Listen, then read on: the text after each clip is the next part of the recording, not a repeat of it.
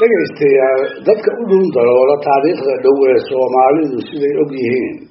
sanadihii hore ee dagaalkii labaad ee dunidu intii uu socday dhammaan dhulka soomaalida ee geeska africa wuxuu u gacan galay ingiriiska marka laga reebo jabuuti oo waayadaas french somaliland loo yiqiin kun iyo sagaal boqol iyo kow iyo afartankii bay ahayd afrikada bari markii ciidamadii talyaaniga lagu jabiyey halkaasna laga dhisay maamul ciidan oo loo bixiyey british military administration lana macno ah maamul askareedka ingiriiska kaasoo soomaalidana la wada hoos keenay. Iyadoo weli colaadii dagaalkii labaad ay aloosan tahay ayaa waxaa baraarugay ummadihii la haystay ee hurdada dheer ku jiray hindiya ilaa masar galbeedka ilaa afrikada bari dadyowgii muddada dheer la gumaysanayay ayaa gelgishay. Qareenadii gobonnimada ee dunida saddexaad ayaa fariimaha isu tabiyey isuna sheegay ummad waliba inay daw u leedahay cidda gumaysiga ku haysata inay ka xorowdo. Soomaaliduna waxay ka mid ahayd qurumihii ugu horreeyey ee inta dareenkaasi ku dhex fiday u dhaganugulaaday waxna ku qabsaday dareenkaas madax banaani doonka? Ah ayaa haddaba wuxuu suuro geliyey bishii may sannadkii kun iyo sagaal boqol iyo saddex iyo afartankii dhalinyaro saddex iyo tobana oo kala qoro iyo kala degaanba ah asii soomaalinimo isu keentay inay abuuraan urur siyaasadeed casri ah dhulka soomaalida kii ugu horreeyey. Waa markii dambe ururkii magaca israel amaba leego taariikhda ku galay ujeedooyinkii uu ku howlgeli jirayna ay ugu waaweynaayeen xoreynta iyo midaynta soomaalida geeska africa ku kala firirsan iyo qorista af soomaaliga. Waxay ahayd mabaadi'dii muddo labaatan sana ku dhow ay ku taabeen taageerada buuxda ee dadweynaha taasoo ku timid waxbaridii siyaasadeed ee soomaalidii iyaga u janjeertay ay siin jireen iyo halgankii ka dhabta ahaa ee madax banaanida dalka ay ugu jireen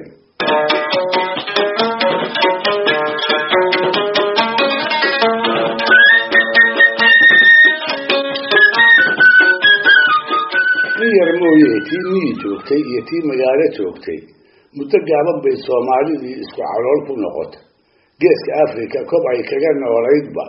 leegadii ayaa isku uurka dhigtay erayo kooban oo la isku aaminay ayaa la wada qaybsan yahay oo ruux walba dabnaha ka saaran waa gobonnimo ama waa calan ama waa qarannimo ama waa midnimo. Xisbiga ayaa markuu doono dadweynaha kiciya markuu doonana fariisiya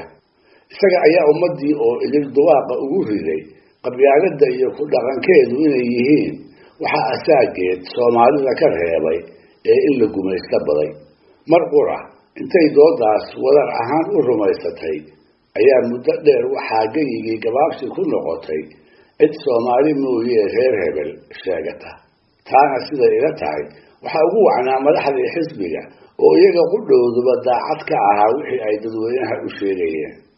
Halku dheggu wuxuu ahaa kani waa ugaas kani waa addoon waa inaan ilownaa shirkii la isugu yimaado iyo kulankii meel lagu qabtaba waxaa leegada iyo soomaalidii taageeri jirtay dhaqan u ahaa inay mar walba soomaalinimo isku guubaabiyaan istaakulayn dhexdooda ah ay isku tirtirsiiyaan iskuna dhaarsadaan cadowga gumaysigooda u ooman la dagaalankiisa inay isku duubni ku galaan. Mararkaas oo kalena waxay si wada jira ugu heesi jireen heesihii xilligii gobonnimo doonka tii ugu caansanayd heestii cali mire midhaheeda lahaa ee meerisyadeeda ay ka mid ahaayeen soomaaliyay toosoo toosoo isku tiirsada oo hadba kiina taag daran taageera weligiin. Idinkay isu tooqahayo idinkay isku taamahayee aadanuhu tacliim barayo waddankiisi taageer. Tulda geela oo dhacan baa toogasho u bareertaan. Ma dhulkaas dhanee tegay baan nina dhagax u tuuray hadba waxaan la taahaayo togoga uga qaylshaa in dhulkiisii cadow taaboo u tol waayay baana hadba waxaan la ooyaayo ilmadu iiga qubataa ikhtiyaar nin loo diido la addoonsadaana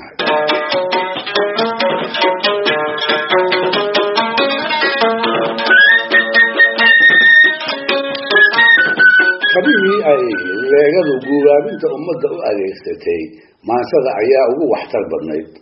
Sida la wada ogyahayna hidda ahaan markii ay colaadi qabaa'ilka soomaalida ka dhex aroosanto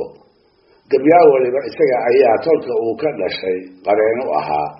oo gabayada marna ku dagaalgelin jiray. Marna wixii eeda ah oo loo soo jeediyo kaga daafici jiray. Xilligii leegada ayaa raggii sidaas ahaa isbeddel weyne ku dhacay mar qura ayay maansadoodii waxay u rogeen tu ay soomaalida ku wada guubaabinayaan oo qabyaaladana ay ku nacsiinayaan.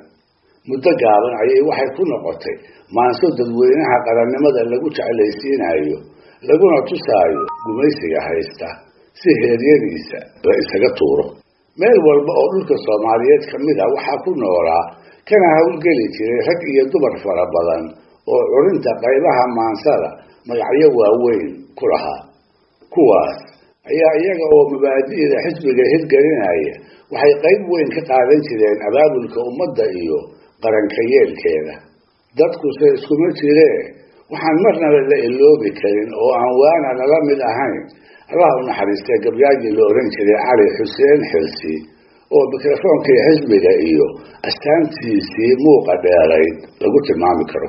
gabyaagii xisbiga oo uu ahaa ka sokow wuxuu kaloo ka mid ahaa ururka xubnihiisii horseedka lagu magacaabi jiray ee howlaha adadag ee halista ah loo diri jiray. Madax iyo howlwadeennaba dadkii xisbiga iyo howlihiisii u dhuun daroolay siday noogu warrameen. Wuxuu cali ahaa danta guud markay joogto nin aan nasashada aqoono aada u dhiiran maanse yaqaan ah isaga daraaddiisna ay soomaali badani ururkaba ugu soo biiri jirtay.